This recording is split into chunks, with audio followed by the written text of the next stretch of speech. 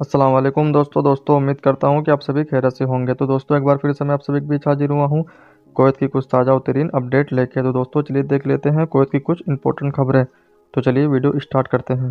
दोस्तों, बता दें, कोयत में अब सभी की एंट्री होने वाली है। बता दें, कोयत में जुलाई से सभी एयरपोर्ट को खोला जाएगा, क्योंकि दोस्तों, बता दें, कोयत गवर्नमेंट ने ये नया ऐलान किया है कि जब तक जब तक कोयती शहरी को टीकाकरण हो जाएगा, उसके बाद जुलाई में कोयत एयरपोर्ट को खोल दिया जाएगा। बता दें जिससे कि सभी अजनबी लोग कोयत में एंट्री कर सकेंगे और जुलाई तक सभी अजनबी लोग अपने अपने मुल्क में टीकाकरण करवा लेंगे।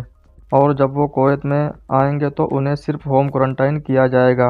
वो भी चौदह दिनों के लिए और होटल क्वारंटाइन नहीं किया जाएगा। दोस्तों, बता दें, सूत्रों के अनुसार स्थानीय अरबी डेली अलकावास ने बताया कि कोयत हवाई अड्डा अपने समन्वय परिचालन के लिए खुलेगा। तो दोस्तों, ये एक तरह की अच्छी खबर सामने आ रही है। जो कोई भी कोयत आना चाहता है, उसके लिए एक अच्छी खबर है। बस उनको अभी थोड़ा और इंतज़ार करना पड़ेगा जुलाई तक। चलिए दोस्तों, देख लेते हैं अब अगली खबर। कोयत के साली अल मोहम्मद अल अजरी ने ऐलान किया है।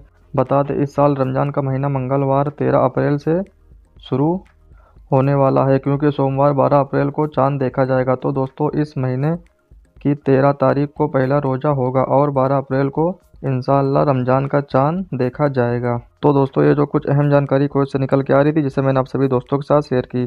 तो दोस्तों, आप लोग ऐसे ही कोच की ताज़ा तरीन अपडेट से वाकिफ रहना चाहते हैं तो हमारे चैनल को सब्सक्राइब करें।